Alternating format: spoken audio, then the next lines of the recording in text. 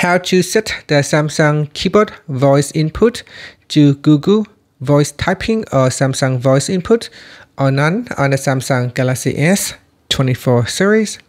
First tap on the home button to return back to the home screen. From the home screen, swipe down at the top, then tap on the settings icon.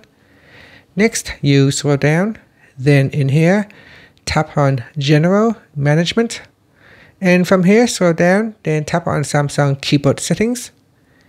Next, scroll down, then tap on voice input. And from the list, you could select Samsung voice input or Google voice typing or none.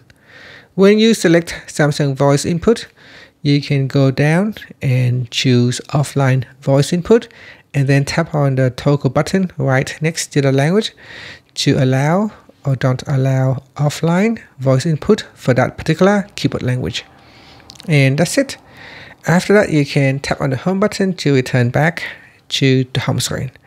Thank you for watching this video. Please like and subscribe to my channel for more videos.